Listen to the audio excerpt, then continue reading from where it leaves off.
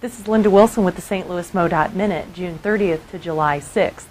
The good news for motorists this holiday weekend is all work zone activity will end at noon Friday, July 1st, and not resume until 9 a.m. Tuesday, July 5th. Several interstate exit and entrance ramps in downtown St. Louis will be closed for Fair St. Louis activities this weekend.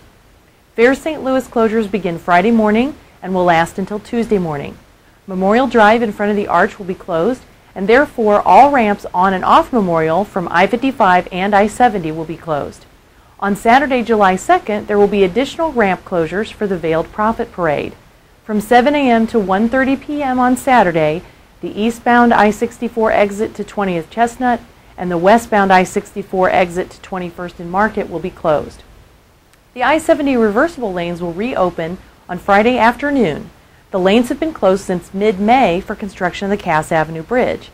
Crews are completing emergency repairs due to the sewer damage on Sunday, and then all the lanes will reopen sometime this Friday afternoon. On Thursday night, June 30th, the bridge girders will be placed for the new Holly Hills Bridge over I-55. Two to three lanes northbound will be closed starting at 8 p.m., and after 11 p.m. there will be intermittent 10-minute closures of all northbound lanes while the bridge girders are placed.